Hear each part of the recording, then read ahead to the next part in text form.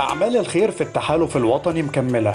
وكالعادة تعودنا نشوف فعاليات الخير اللي بتسعد أهالينا وتخفف عنهم. وفي محافظة البحيرة نظمت مؤسسة نبيل الكاتب الخيرية احتفالية فيها أنشطة مختلفة وده عشان تخفف الأعباء المادية عن أهالينا هناك.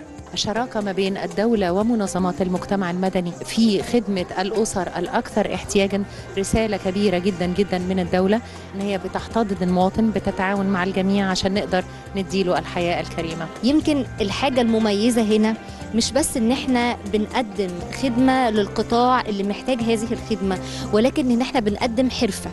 بنديله مهارة يقدر يبقى ضامن بيها مصدر دخل ثابت بالنسبة له. إحنا الحقيقة بنبقى سعداء في مشاركتنا في أي مبادرة للتحالف الوطني آه ودايما بنسعى إن إحنا نكون معاهم في كل مبادراتهم دي بلدنا وده حقها علينا. وعشان دخول فترة المدارس واحتياجات أولادنا المختلفة وفرت الاحتفالية شنط مدرسية وملابس جديدة تفرح أطفالنا غير الكراسي المتحركة وأجهزة طبية للمستشفيات. ده غير دعم السيدات في أنشطة التمكين الاقتصادي زي الكليم وكمان أجهزة عرايس عشان تساعدهم يبدأوا حياة أسرية سعيدة. بجد إحنا سعداء جدا من الملابس والشنط ولبس المدرسة والله محتارين يعملوا لنا إيه بصراحة. شكرا أستاذة نبيل الكاتب والتحالف الوطني استدعونا النهارده وبجد كنا محتاجين لبس للمدرسه وجايبين لنا شنط وأنا مبسوطة أنا وأولادي وكده. مؤسسة بترعى الأيتام وبترعى كل حاجة وبترعى الأرامل وبترعى جميع جميع الافات بشكر مؤسسة نبيل الكاتب والتحالف الوطني